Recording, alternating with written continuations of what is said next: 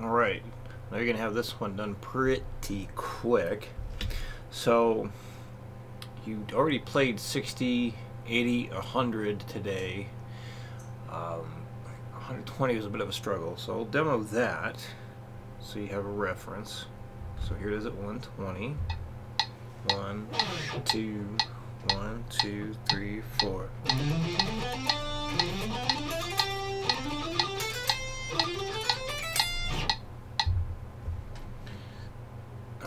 Two. So I think you, you got 60 and 80, if I remember correctly. So let's demo this at 100 and 120. One, two, three, four.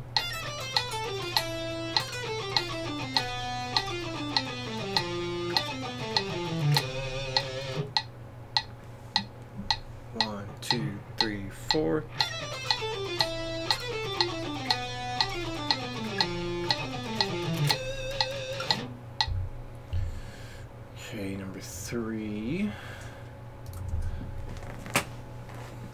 Um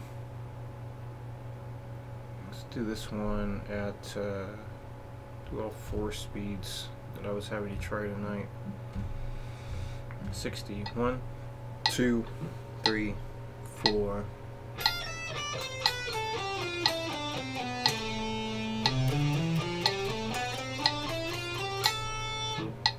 Eighty. One, two, three, four.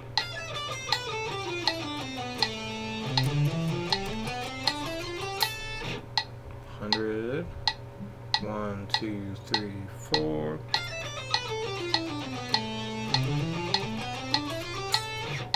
One twenty. One, two, three, four.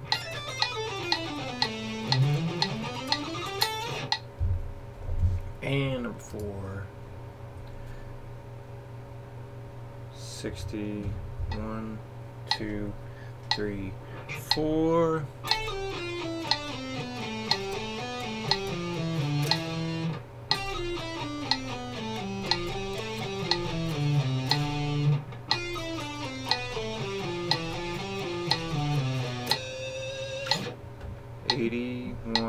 Two, three, four.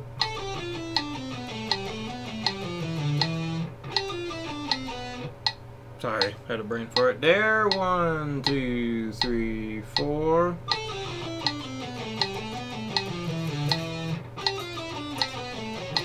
Man, two in a row. Goodness, sorry. One, two, three, four.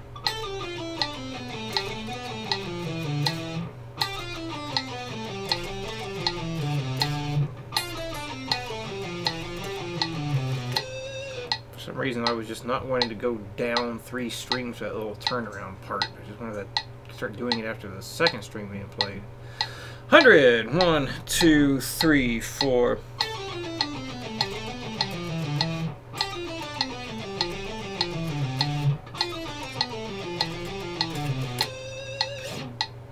One twenty. One, two, three, four. Sorry. One, two, three, four.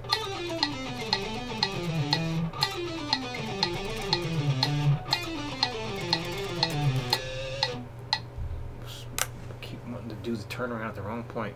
Anyway, um, there we go. And yeah, for the seventh chord stuff, just run through them once or twice a day. When you get to this minor 7 flat 5, this is another you'll want to play without the bar because too much of a risk of hitting that 7th fret on the B string. So that note is not part of the chord and it's not in key either. So that minor 7 flat 5 and that one, best to do without the bar. And that major 7 right there, same fingering as a minor 7 flat 5. It's just one fret difference really. So holding it the same way, this one's just scrunched up. Spread out a bit more. Okay. So yeah, let me know if any questions come up, and I'll see you next week.